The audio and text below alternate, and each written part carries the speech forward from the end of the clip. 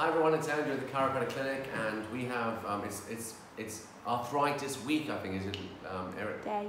Where's the day? Arthritis day. Sorry, I missed it yesterday. but anyway, Erin's asked me to do a little video on arthritis. Now, arthritis can be a generic form or word for um, a few different types of syndromes. You can have osteoarthritis, which is more of a degenerative problem, as opposed to rheumatoid arthritis, which is more of an autoimmune um, pathology. So um, depending which one you have, um, you kind of um, address them a bit differently. But there even, the research is actually even coming out that osteoarthritis, sometimes that's termed spondylitis or spondylosis in the neck, um, is the same thing. It's wear and tear. But they also think that's probably, there is some autoimmune link to that. And you probably think, what does autoimmunity mean?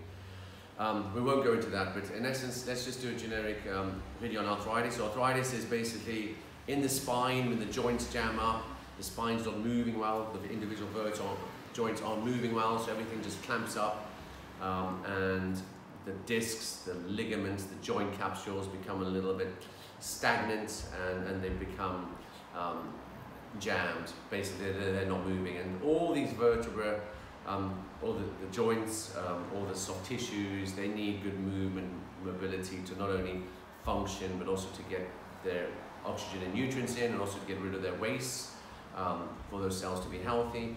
Plus the brain needs to understand what's happening. things aren't moving, the brain doesn't understand. So arthritis really, the big picture is in the spine, is when joints aren't moving, the brain can't understand what's happening there because things aren't moving. The brain therefore can't heal and, and protect and look after it.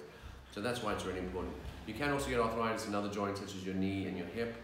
Um, what we do here, we can't really prevent potential hip replacements or knee replacements happen. We can sometimes, if it's not gone too far, help with pain care, but ultimately a hip and a knee issue is a, is a problem probably for the surgeon long term, unfortunately. However, you can often have hip pain and knee pain, which is non-arthritis, which is a misalignment of the spine. So if you have a hip or knee problem, please come in and get checked because there's often a misalignment. All those vertebrae are jamming up. So arthritis, you can do uh, many things for it in the spine. You want to keep it moving. You want to take fish oils, that helps it. Take turmeric, that's anti-inflammatory.